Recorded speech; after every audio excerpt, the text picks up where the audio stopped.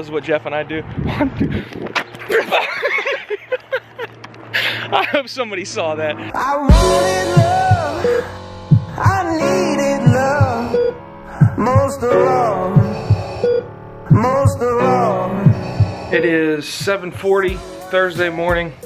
Waiting for uh, Ryan is gonna be pulling up any second and we're gonna be heading to a, a film shoot. So, little behind the scenes of an Impakt marketing film shoot today.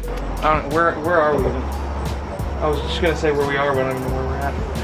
We're out, we're out, we're out in the middle of nowhere, but getting ready to do a film shoot. Look at that view. Game time. Game time. Boom pole, boom mic. Ryan's setting up the A cam.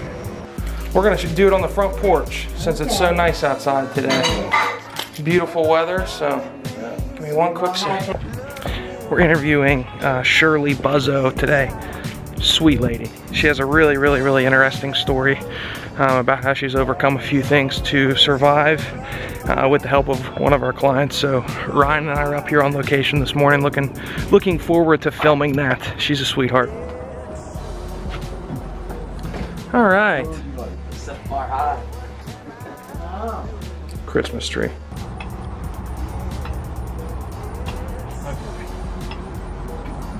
I wanna I wanna hear about it. So um, let's start off kind of from the beginning so people have an idea who you are. That's awesome.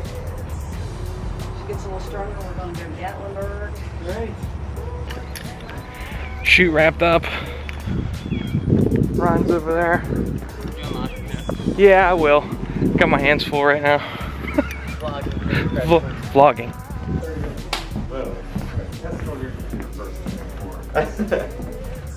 We launched a website. Hey. Mike, Mike gets I real know nervous when I do this. Oh my god! Don't do that. It's Luke. What are you eating? Carrots and veggie dip. Having What do you have a, for breakfast, Luke? I haven't had breakfast yet. I'm actually kind of hungry. I'm going to Starbucks right now to get a bacon Gouda breakfast sandwich, flat white, double cupped with two sugars. Oh that wasn't. Look at that. We, dude, we even have the same. Oh, We're dressed the same. I don't have the same pants. What the? F See you guys. Look at this guy. That's some dedicated marketing right there. Thanks, man. Have a good day. Thank you. You already knew I was going to Starbucks. Running late to this meeting, and I just realized that I told my client that I would bring them coffee. I can't forget that. And I accidentally already got mine down in Morgantown, so I gotta run in here really fast.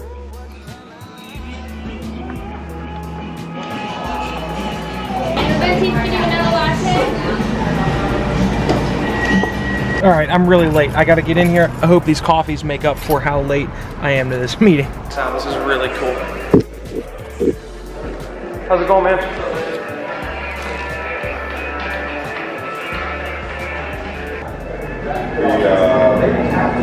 Good to see you.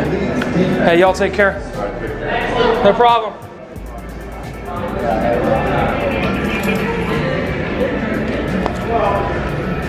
Um, so what's uh, what other specific information other than the bottle size and then uh, the, the label design?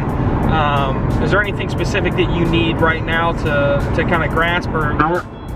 No, uh, other than that, uh, just uh, uh, approximately ballpark quantity what are you looking at?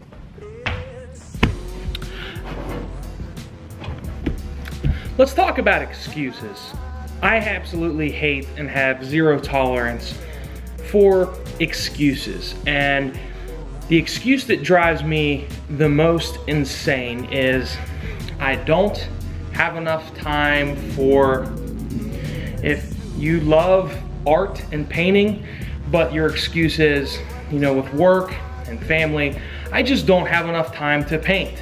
If you have a passion to start your own business, but you have a full-time job, you just don't have enough time. Or if, in my industry, people that kind of know they should be doing social media, but they just don't have enough time with all the other things they have lined up in the day. You know that my day consists of zero downtime. My day is full from sun up to sundown, if you can see this.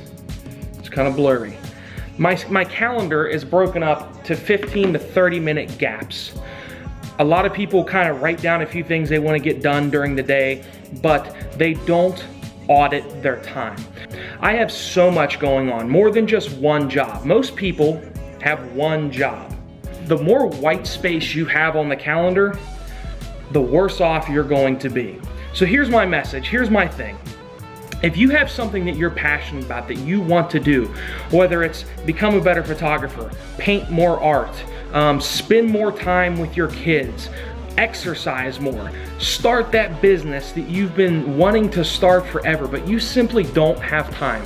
Take a look at your calendar, your schedule. If you don't write out what you do during the day, do it for three days straight. Write out every single thing that you do during the day. Break your day up into 15 minute gaps. After three days, go back through your calendar and find all of the things that are not providing you value and figure out how you can cut those out. Now, if it's simply going out on the golf course on the weekend and relaxing, that's fine. That provides you value because you need to relax and recoup and recover. But if you see that you're spending 15 to 20 minutes a day, every single day on Pinterest or on YouTube, and you're not watching educational videos on YouTube and you're not getting value-driven articles on Pinterest, you're simply just finding recipes and goofing off more or less, what can you cut out? I can tell you one thing those 30 minutes or an hour of America's Got Talent or The Walking Dead or CSI is providing you zero value. Audit all of the bullshit that you do during the day and switch out the things that do not bring you value with things that will pr provide you value and can provide you value. Excuses help you in no way, shape, or form. And the one that I absolutely hate the most is I don't have time. Make time, my friends.